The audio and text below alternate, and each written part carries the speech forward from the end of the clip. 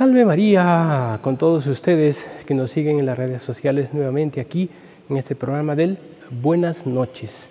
Este programa para poder ir a descansar con esas eh, gotas de gracia que van llenando nuestro corazón para ampliar nuestro amor a Dios y a la iglesia. Entonces, acompáñenme para rezar. En el nombre del Padre, del Hijo, del Espíritu Santo. Amén. Dios te salve María, llena eres de gracia, el Señor es contigo.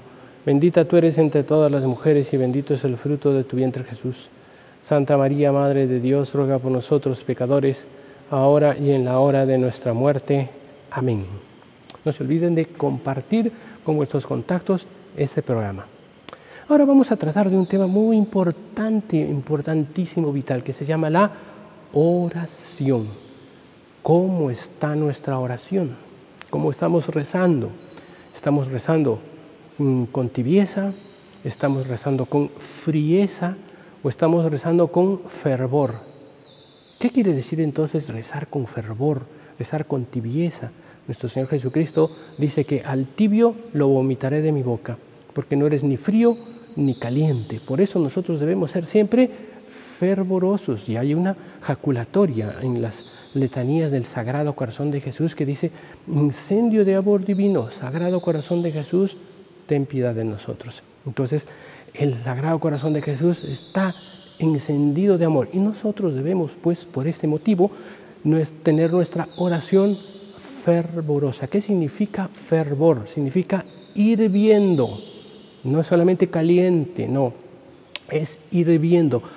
Así es que nos debemos encaminarnos para encontrarnos con ese ser divino, es el Sagrado Corazón de Jesús, que es el Inmaculado Corazón de la Santísima Virgen María, para que ese calor de Dios, que es el incendio de amor divino, se encuentre con nuestro fervor y se hagan uno en la oración. Por eso debemos rezar de esa manera.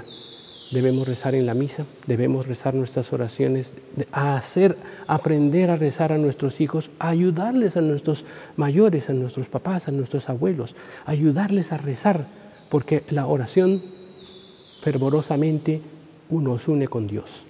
Dios te salve, Reina y Madre, Madre de misericordia, vida, dulzura y esperanza nuestra, Dios te salve. A ti clamamos los desterrados hijos de Eva, a ti suspiramos gimiendo y llorando en este valle de lágrimas. Ea pues, Señora abogada nuestra, vuelve a nosotros esos tus ojos misericordiosos, y después de este destierro muéstranos a Jesús, fruto bendito de tu vientre, oh clemente, oh piadosa, oh dulce siempre Virgen María. Ruega por nosotros, Santa Madre de Dios, para que seamos dignos de alcanzar las promesas y gracias de nuestro Señor Jesucristo. Amén. Salve María.